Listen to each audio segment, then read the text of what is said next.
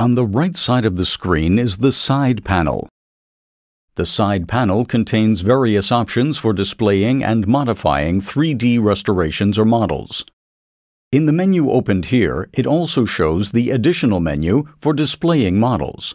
We click on the lower jaw model, hold the left mouse pressed, and drag down to increase its transparency.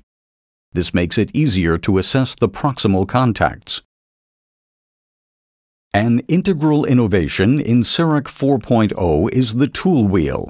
It always appears when you right-click on the restoration.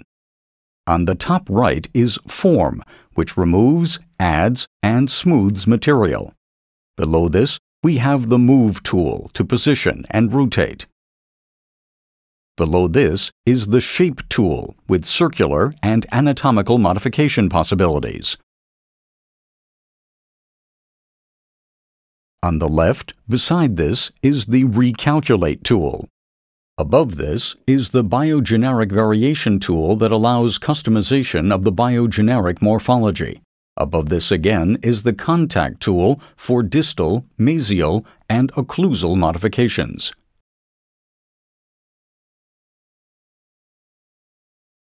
The tool wheel is always centered over the right mouse click on the restoration.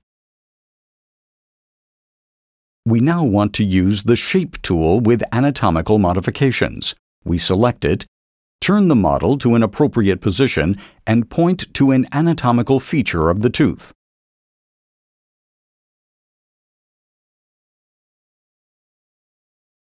In this case, a cusp. One can see how the cusp follows the mouse when it is held and dragged.